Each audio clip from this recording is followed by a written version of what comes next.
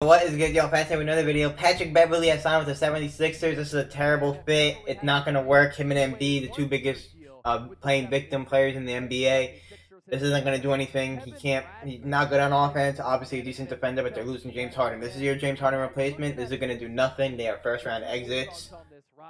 It is what it is. I mean, it, it, it kind of fits, I guess, ish. Not really. It doesn't like fit basketball wise, personality wise, it fits.